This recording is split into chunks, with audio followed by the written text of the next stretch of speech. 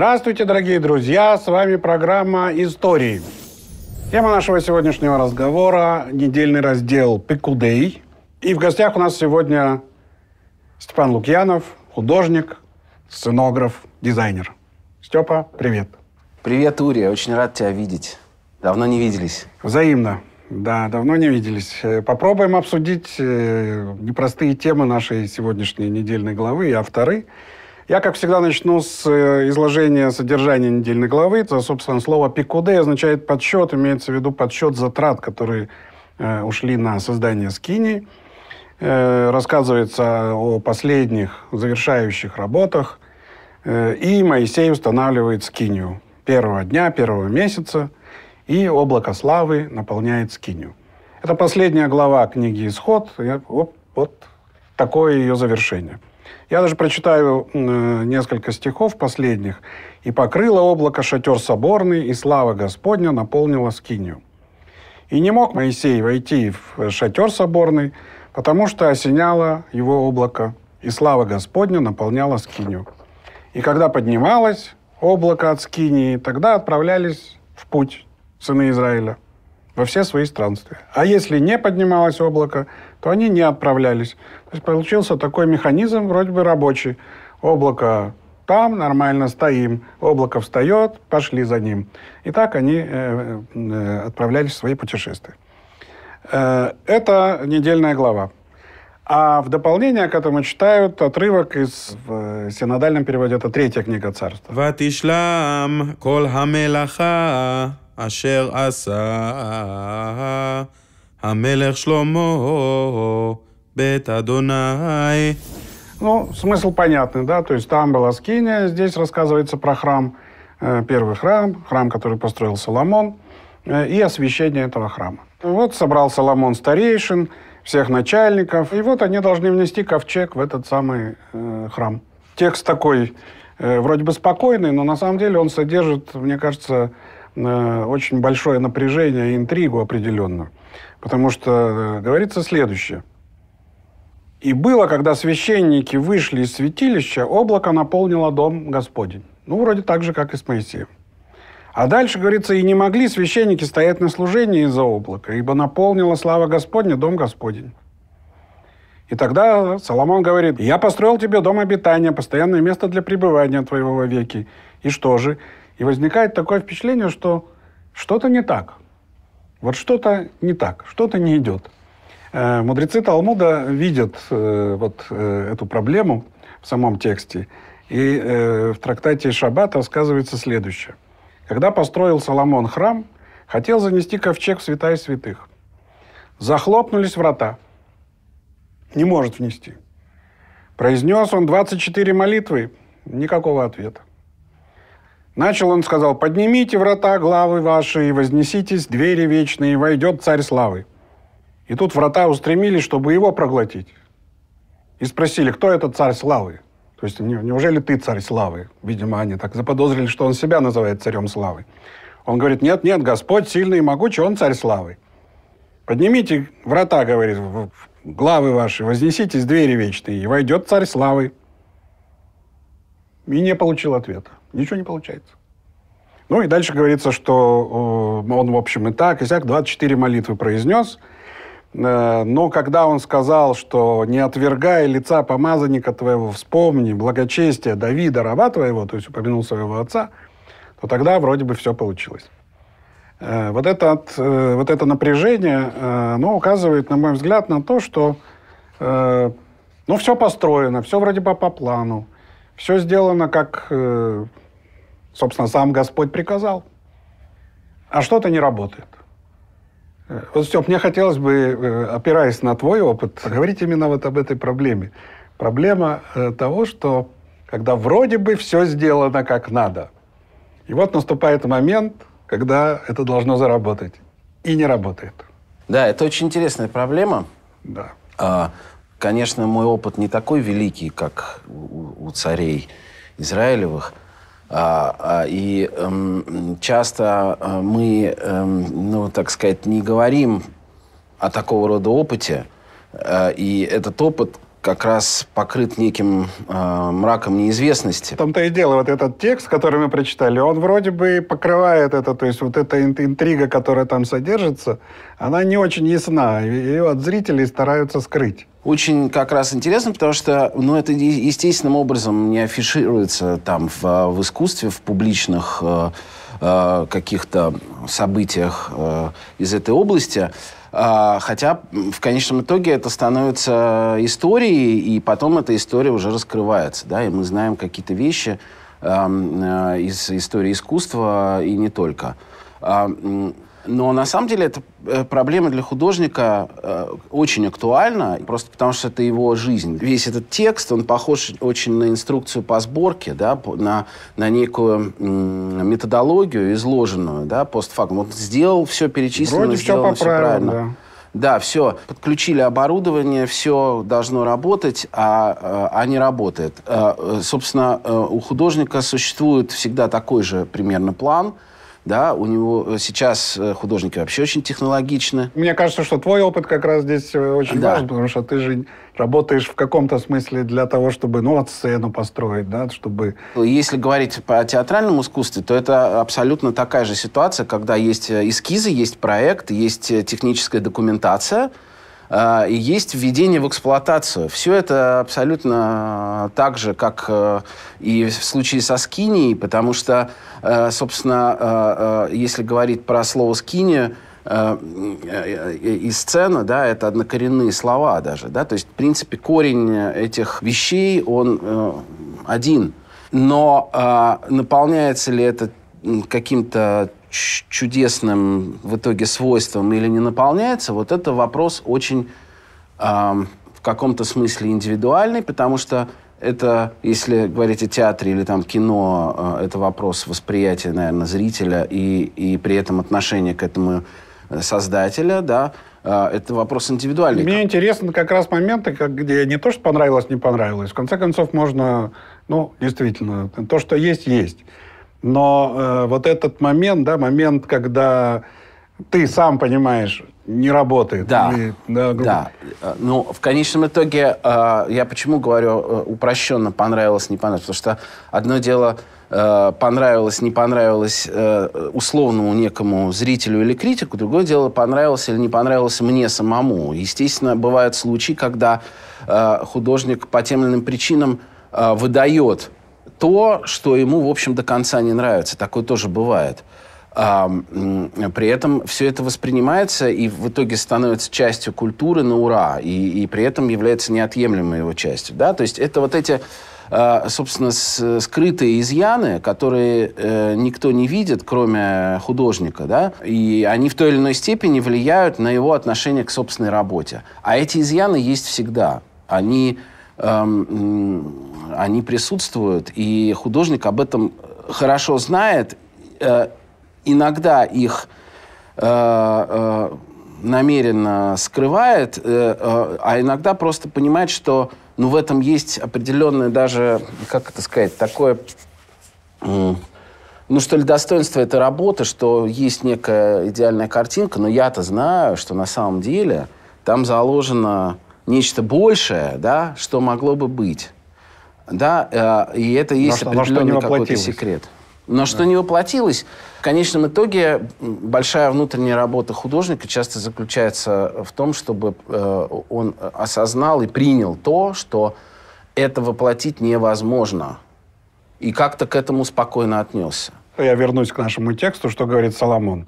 Э, у Соломона можно проследить по тексту целый ряд сомнений самых разных. Может, мы что-то не так сделали. Ну, вроде была инструкция, может, что-то где-то где что-то выпало. Или, может, э, может, это вообще нельзя сделать. То есть думали, что можно, а может, нельзя сделать. Или, может, во мне что-то не так, может, я что-то не то. Вот он обращается, а Давида, вспомни Давида. Да. Я-то, ладно, а вот Давида вспомни, то есть, как бы автора замысла вспомни. Ты с ним говорил, да. бы. а кто несет ответственность да. за все это? И вот э, в тексте э, э, авторы мы, мне кажется, это слышим. «И стал Соломон перед жертвенником, напротив всего общества Израиля, и простел руки свои к небесам, и сказал, он обращается к Богу и говорит, э, ну, вроде Что не так? Он спрашивает. И дальше любопытный текст. Но воистину разве будет Бог жить на земле? Это его сомнение относительно того, вообще, что-то мы зря задумали-то, это все ерунду. Да. Как Бог разместится на земле? Ведь небо и небеса не могут вместить тебя. Тем более этот дом, который я построил, не может вместить тебя. Но, говорит, обратись к молитве раба твоего, все-таки послушай меня, и к молению моему, чтобы услышать хвалу, молитву, которую раб твой и дальше он говорит, ну вот и Давид вроде, и все. Наверное, это невозможно, но все-таки соблаговоли, э, сделай так, чтобы все, по крайней мере, выглядело, э, ну, вроде бы как, э, как сделано. Вот это очень важная цитата, которую ты привел. Я ее для себя выписал специально, когда ехал на эту съемку. Мы читаем там о раз, неком размере, да, то есть раз, э, может ли э, этот дом вместить тебя, да. Э, э, мне кажется, что это важная категория размер, потому что она, имеет отношение к физическому миру, и э, размер это э, то, что определяет э, в конечном итоге и композицию, и музыкальный размер, и прочее, прочее, прочее, да. То, с чем мы орудуем, например, художник э, сцены Э, э, ему очень важно понимать масштаб, э, очень важно понимать какие-то технические вещи и перерабатывать их художественно, технические вещи, которые позволят вообще этому событию состояться, да, так или иначе.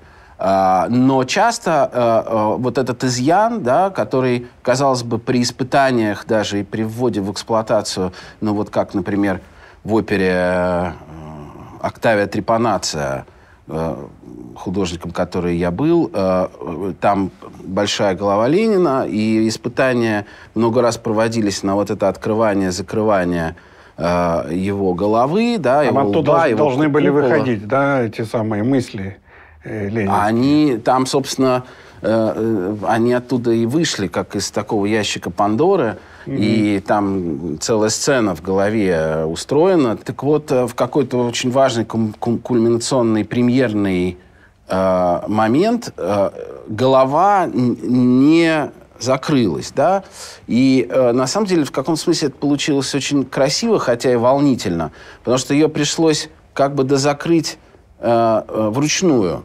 Поднадавить. Э, поднадавить. Но всегда э, художники вообще ну, по крайней мере, я э, всегда немножко мистически настроен. И, и э, конечно, это воспринимается как ну, отдельное событие или даже знак, да, который, который э, пришел извне э, в, тво, в твой план. Мы потом разобрались, в чем там дело. Естественно, это касалось и размера в частности. Да, там э, что-то было уже, чем нужно э, на этом винте, который, собственно, угу. приводит э, в движение этот лоб, но э, э, так или иначе, если бы даже, предположим, лоб не закрылся, то э, э возник бы просто какой-то немножко другой смысл, да?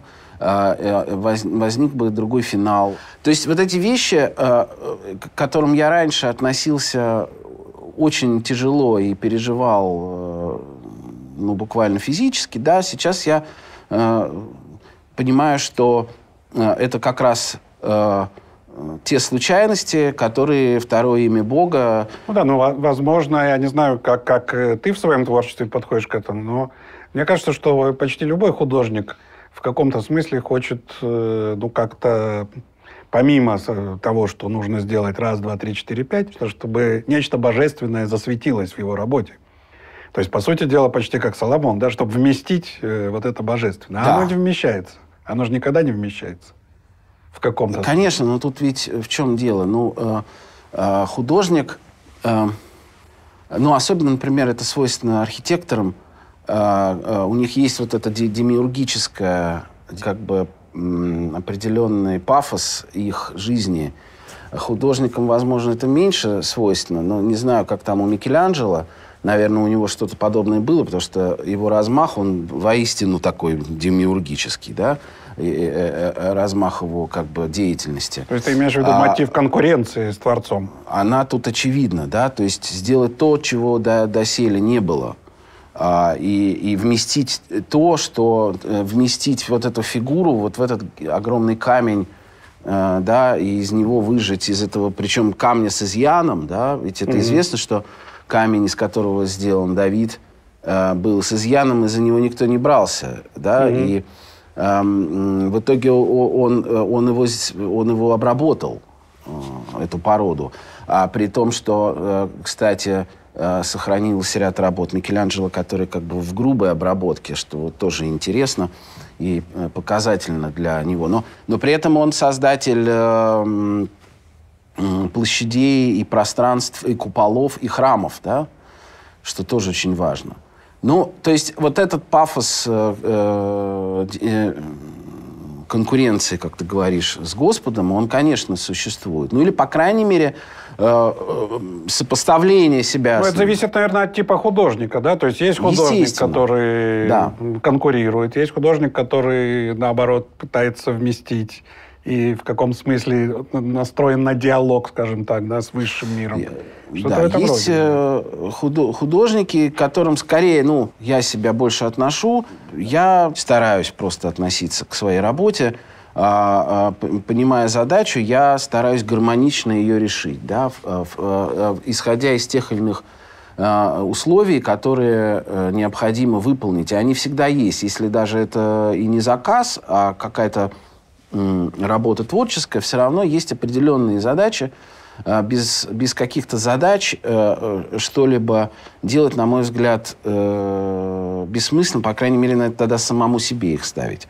А, это вот гармони... Гар... Ну, это тоже понятие какое-то очень слишком общее, гармоничное решение вопросов. Но, но а, ведь тут тоже речь идет о размере. Да? В конце концов, что такое гармония? Это баланс, это, или это какой-то дисбаланс – э, мы тут э, орудуем физическими э, понятиями, да, мы все равно... Ну, или, как ты говоришь, при... слишком узко, слишком широко не подходит, да. зазор не работает. Мы тут при, при, примеряем духовное как бы как, как, какими-то размерами, да, мы, точнее, мы иллюстрируем в своем языке нечто, что мы не можем описать физическими словами и категориями.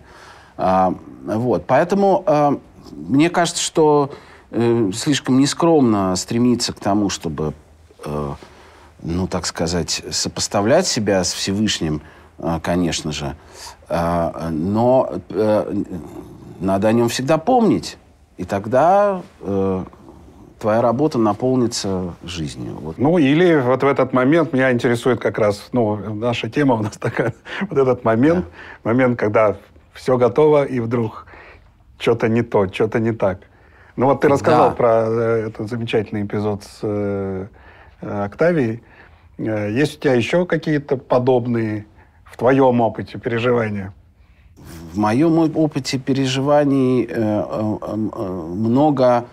Э, ведь это же не очевидные вещи все, да? Я говорю о том, э, что никто никогда не увидит, кроме тебя. Приводить эти примеры очень сложно, потому что их сложно проиллюстрировать. Да? Просто я э, э, понимаю какие-то вещи, которые могли бы случиться, но не случились. Вот это не свершившееся, а оно э, очень интересно. Естественно, это превращает э, твою э, художественную жизнь в, в опыт, когда ты э, стремишься к, к совершенствованию, э, которое достичь, как бы, в общем, невозможно, как мы понимаем, да? Может, тогда просто приведем какие-то примеры несостоявшегося или незавершенных произведений? Очень правильно ты подвел, э, собственно, то, что не сделано, да? То есть то, что, в принципе, состоялось как замысел, но не произошло а по тем или иным причинам. А, э, например, у нас э, с Борисом Юханановым был э, проект полноценной оперы пятичастной, полноценной, ну, в том смысле, что эта опера должна быть, была э, иметь сценический облик в виде сценографии э, Non-Sensoric Dreams. И э, там очень похожая э, тема даже э, в сценографии была на то, то, о чем мы говорим, потому что, э, по сути, Э, я предлагал построить нечто, э, соединяющее в себе и храм, и город, да, то есть город, э, храм, э, э, как бы все в одном. То есть такая конструкция, которая воплощает в себе и внутреннее, и внешнее. Угу. Что в него можно войти, но при этом можно существовать на нем, в нем. А, в нем, в, в городе, но при этом... Ну, в каком смысле Иерусалим? Э, Иерусалим это именно такого рода, а, это, такого рода структура. Идея, естественно, вышла из текстов э, Бориса, и э, для него э, эта тема очень важна. Да? То есть Небесный Иерусалим, э, храм, дворец.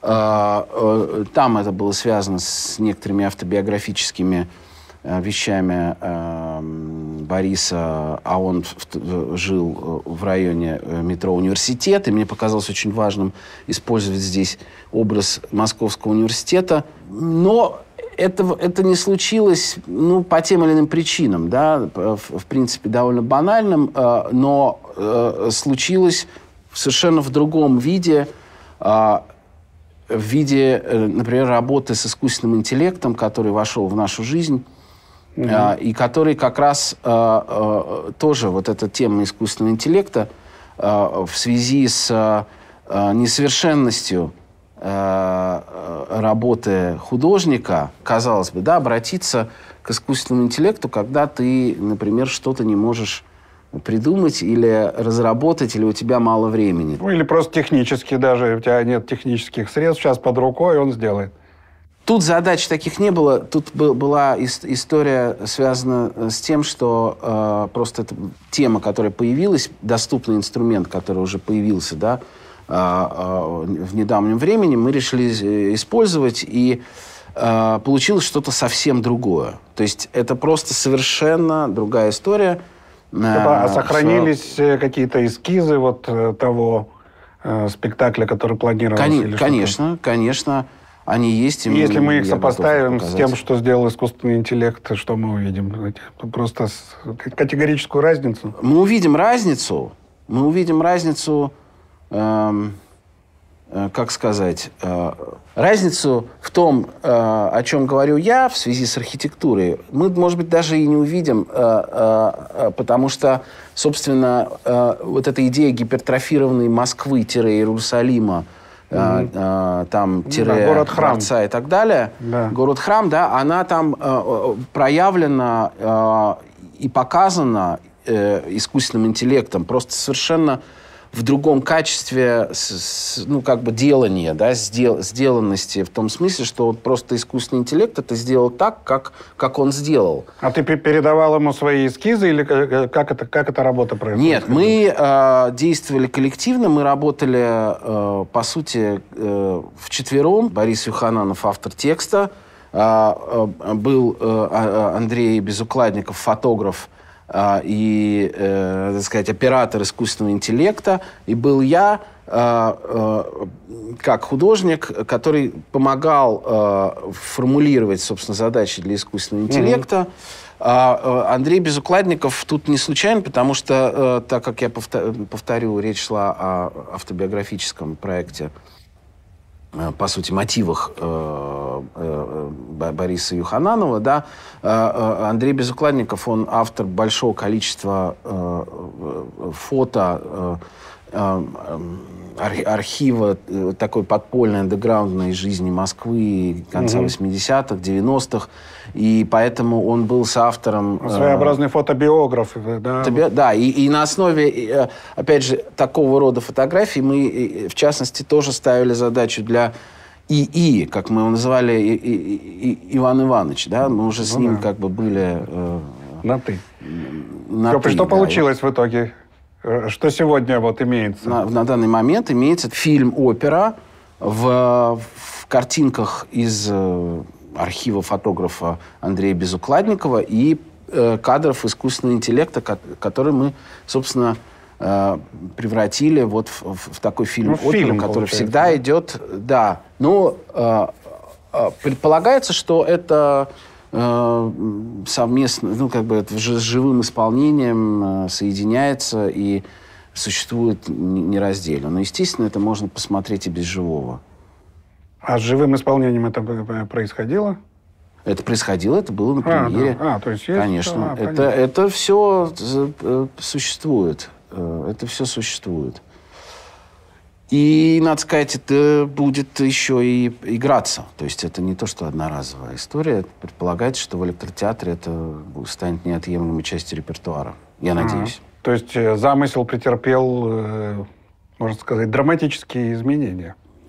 Весьма. Иван Иванович э, теперь нам, конечно, в помощь... Как вы теперь будет Я- без Ивана Ивановича? да? Да, ну, э, э, э, отдельная, конечно, тема с искусственным интеллектом, потому что, конечно, надо с ним работать, иначе могут быть необратимые последствия. Надо с ним взаимодействовать. Может быть, как-то это тоже связано с нашей основной темой, потому что это весьма актуально. Я Ну, у нас теперь, смотри, какая возникает ситуация такая, что если я вот все эти э, вопросы, я виноват, кто виноват, что не получилось, что не получилось, к Ивану Ивановичу. Да, да, да. Очень хорошо. Конечно, это, а главное, это очень, э, главное, это правда. Ну, раньше у у Соломона была, э, как бы, он молитвой, да, обращается с молитвой, а сейчас просто к Ивану Ивановичу, как Да. в каком смысле Да. решение. Есть э, решение вопроса, он и психотерапевт, он и помощник, он и, архи- и архитектор, и музыкант, и все, все, что хочешь, художник, Да, да. все, да. что хочешь. Да. Степ, еще, может, есть какие-то примеры э, характерные? Ну, я, для- э, э, на самом деле, э, очень э, текст, э, конечно, мощный образно, да, то есть, конечно, я сразу живо себе представил эту, э, представляешь себе эту скинию, да, и вспоминаются э, м, какие-то примеры, причем самые, э, казалось бы, неожиданные. Э, Ведь, ведь все описание э, этих э, тканей, э, э, э, э, эт- этих э, такелажных систем э, палатки, да, и каких-то деталей мне напомнили, э, э, по сути, корабельное устройство. И, кстати, сцена тоже Ну, и сам храм, он очень похож на корабль. Сцена как таковая э, вообще часто у нее очень много аналогий. И палуба, планшет, и, и э, весь, весь такелаж, и штанкеты — это, естественно, паруса. И э, мне пришел в голову пример флагманского шведского корабля 17 века «Васа», да, и который, э, э, э, собственно, из-за того, что имел, как потом выяснилось, неточные размеры, вышел в свое первое плавание и тут же затонул. Да, это, это очень, ну, такой простой пример, но э, очень интересный. Этот пример мог бы стать какой-то легендой, а мы об этом знаем очень хорошо и э, достоверно, потому что мы имеем э, этот корабль. Ну, то есть вот эта грандиозная ошибка, которая, собственно говоря, перечеркнула весь проект. Да. Но мне кажется, тут важно, что для э, конструкторов и для тех, кто отправился в это плавание, э, этот изъян был неизвестен. И они не, не, не, не могли догадаться о нем. Иначе бы, если бы они догадались, они бы не- на нем просто на этом корабле бы не поплыли. Понятно. Вот этот пример, который ты привел, он очень хороший пример, да, потому что он вроде бы фатальный, а на самом деле в нем есть что-то, что дает возможность, ну вот, сохранить корабль, да, и без этого мы бы А, конечно. его не имели. Мне вс- вспомнилась э, история, э, на мой взгляд, тоже очень показательная, про нашего великого художника Репина, э, который, ну, из-за того, что произошло нападение на картину «Иван Грозный сын его Иван», или как она там точно называется, ну, собственно, было испорчено лицо Грозного, э, и э, про то, как э, э, уже после начала реставрации гробарем э, Репин проник к картине в Третьяковской галерее и переписал, собственно, это, это, это лицо. И когда гробарь пришел а, и увидел то, как это сделано, он пришел в ужас и, слава богу, успел смыть керосином, собственно, то, что написал Репин, да. Тут как раз а, а, речь идет о э, художнике, причем максимальном таком проявлении художника, как Репин, да. А, уж не знаю, там были у него демиургические какие-то настроения или нет, но то, что он не мог остановиться и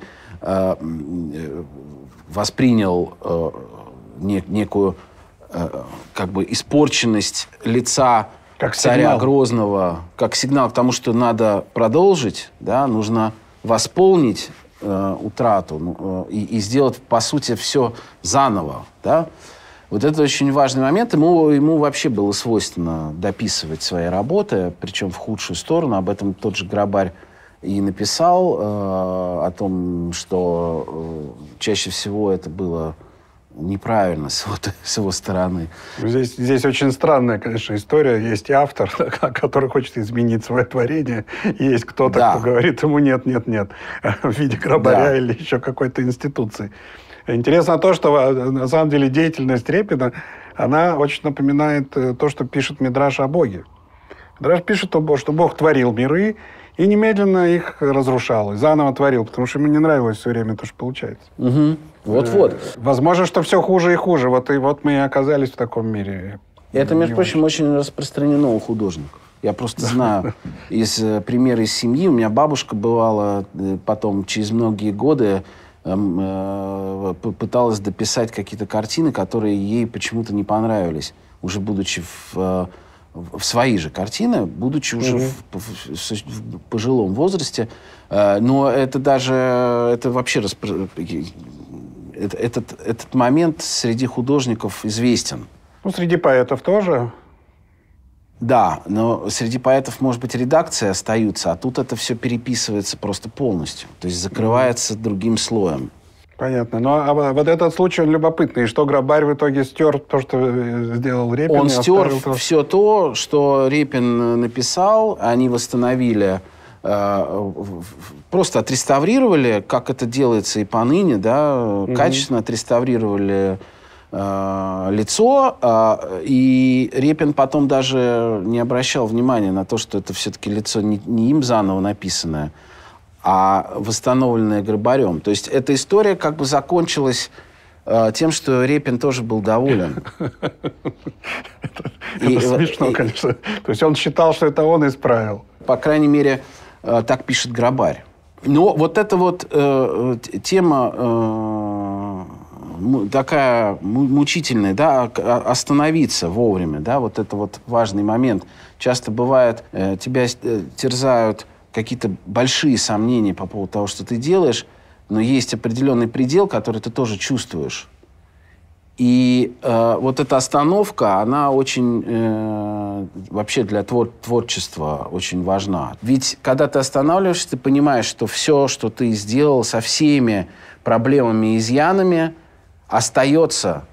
Но ты это, за это уже отвечаешь, и ты э, говоришь о том, что это, э, произ- что это произведение, или, по крайней мере, тот продукт, или что-то, что э, ты предлагаешь от своего имени э, и отвечаешь за него. А, ну в кино и в театре это как бы коллективное все-таки творчество, да? То есть там есть э, кто-то, Ну, кто говорит, конечно. вот так сделай, а кто-то говорит, Конечно, эдак. Ты но как-то до- понял, правильно понял, неправильно понял. Вот Да, это правильное сомнение да, в том, да, да, да, да, да. да, сомнение Да. в том, что ты правильно понял э, указание, оно э, в библейском тексте по этому поводу есть целый ряд эпизодов. Моисей. Бог говорит Моисею, ударь по скале. Он ударяет. Бог говорит, а вы с Аароном не осветили мое имя. Как не осветили? Ты же сказал ударить, мы ударили, все, все вроде нормально, извлекли воду. Нет, из-за этого там наказание и прочее. Да, Или пророк Валаам, Билам. Он говорит Богу, советуется с Богом, идти мне с этими людьми или нет. Там его царь Балак зовет проклясть Израиль. Он говорит, нет, не иди. Он говорит, нет, не пойду. Второй раз приходит. Он снова спрашивает у Бога, ну что, пойти? Он говорит, да, иди, хорошо, ладно, иди, только будешь говорить то, что я тебе скажу. Он идет, Бог гневается. Там история с Валаамовой ослицей и все такое. Бог ему, значит, его как, каким-то образом наказывает. Э, Или вот в следующей недельной главе будем читать про царя э, Саула, Шауля. Ему, значит, пророк Шмуэль приказывает, иди уничтожь э, Амалека. Он идет, уничтожает, ну, правда, там берет что-то такое. Шауль говорит, ты не так сделал? Что не так сделал? Ну, я же почти все уничтожил. Почти. Почти. Мгм. Но не все. Вот. То есть вот этот вот момент, да, момент э, э, того, что я правильно понял то, что от меня требуется, Он все время проблематизируется в Писании, да, то есть человек иногда или может быть, всегда или часто неправильно понимает э, божественные указания. Да, он и часто неправильно понимает и какие-то другие, даже не божественные указания. То есть это э, э, регулярно так происходит, и даже как бы свои какие-то указания да. Свои собственные замыслы, да. Да, не очень люблю слово интуиция, но какое-то доверие к себе часто эм, приносится в жертву, ну, просто в силу каких-то, не знаю, иерархических оснований или родственных, да, ты как бы э, и твой, ну, принимаешь и твой как бы замысел, который ты еще даже толком-то и, и не раскусил, и не, до, не довел, он у тебя рассыпается. И тут важно, конечно, вот когда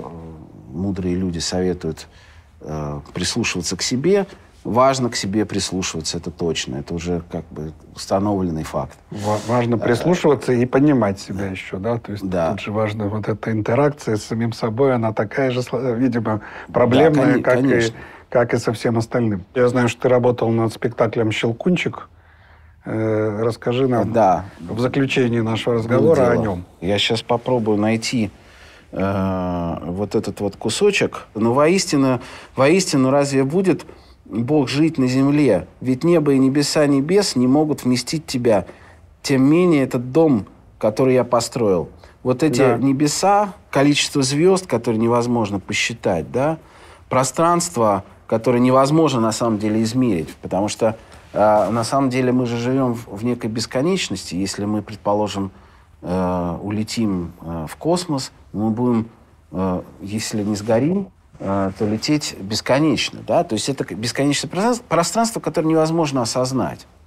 И, и собственно, почему я говорю в связи с этим об этом в связи с Щелкунчиком. Ведь это спектакль, балет хореографа Макса Петрова, который сейчас возглавляет Урал-балет – в Ташкенте э, по заказу Фонда развития культуры и искусства Узбекистана э, в Большом театре э, имени Алишера Наваи. И стало понятно, что ведь надо же придумать новый щелкунчик, а, а, а не сделать какого-то старого, хотя они просили как бы классического щелкунчика.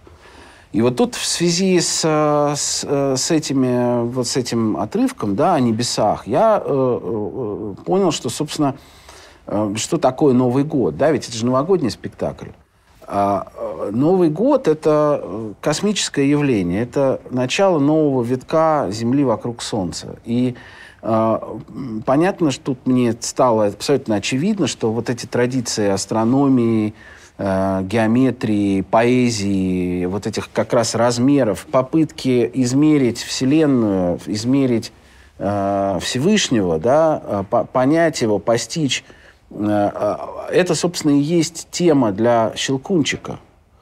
Mm-hmm. А, поэтому, собственно, отправной точкой для меня э, была сетка э, орнаментов, орнаментная сетка базовая, да, которую я э, начертил на основе традиционных орнаментов и пытался по этой сетке... Традиционных узбекских? Э, вообще центральноазиатских. Они ну, то есть ты решил перенести и... все-таки щел щелкунчика в, в другое как бы культурное пространство?